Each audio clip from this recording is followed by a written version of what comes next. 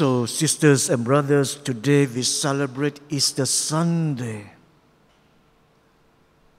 It's good to be reminded that Easter Sunday and Good Friday must always be seen as one, as two sides of the same coin. No Easter Sunday without Good Friday. And the Good Friday leads to Easter Sunday. No glory without the cross. And the cross leads us to glory. When our passion and sufferings are correctly understood and accepted in loving faith as Jesus did, they will always lead us to glory, to the experience of Easter Sunday.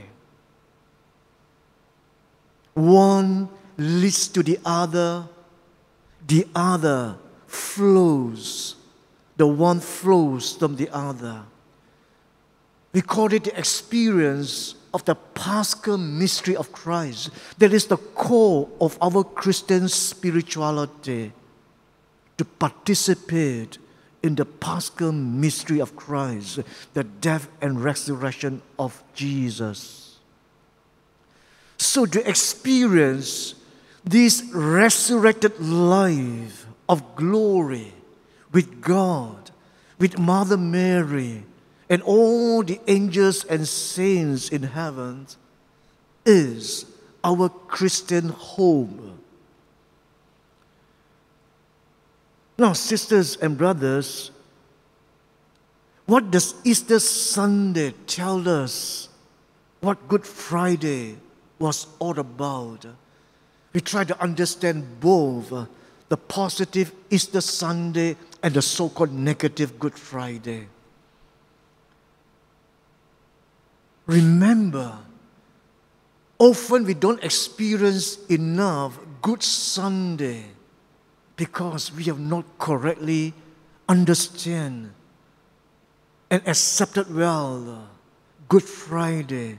We fail to recognize the presence of God in the many Good Fridays that we experience, which, when well accepted, will lead us to Easter Sunday.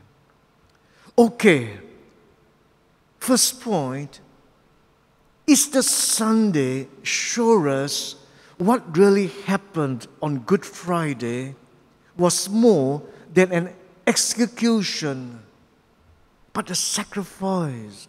Why? Because no force, human or otherwise, has the power to kill him that's why Pilate was totally wrong when he told Jesus, Don't you know that I have the power to release you and the power to crucify you? And Jesus told it off.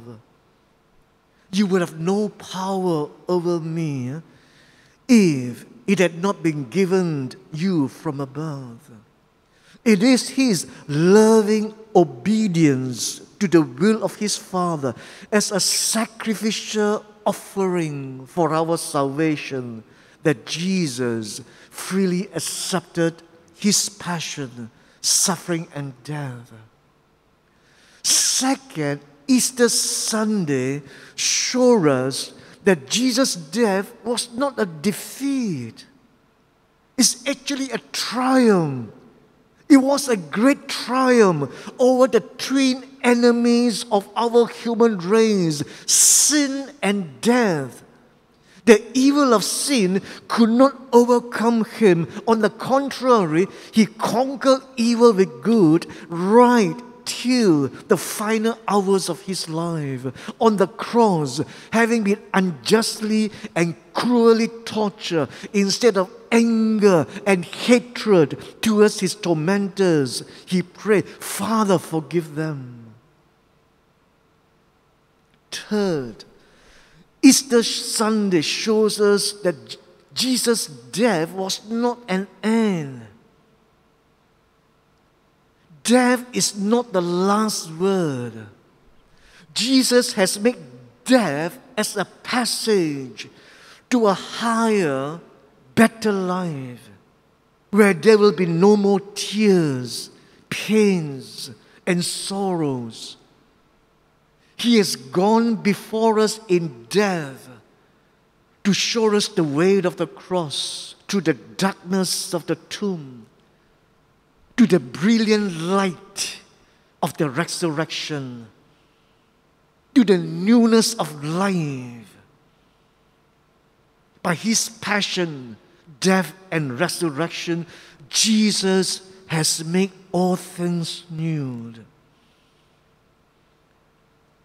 There was a moving scene from Mel Gibson's film, The Passion of Christ.